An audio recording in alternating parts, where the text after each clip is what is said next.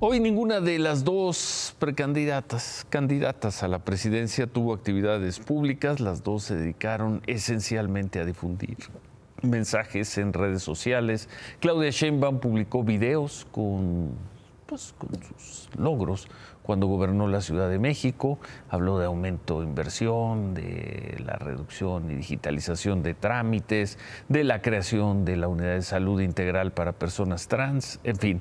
Xochil Gálvez difundió un video donde una vez más criticó al presidente López Obrador, su objetivo parece ser en este momento de campaña, hoy lo criticó por la intención de eliminar los organismos autónomos, lo que dijo ayer el presidente.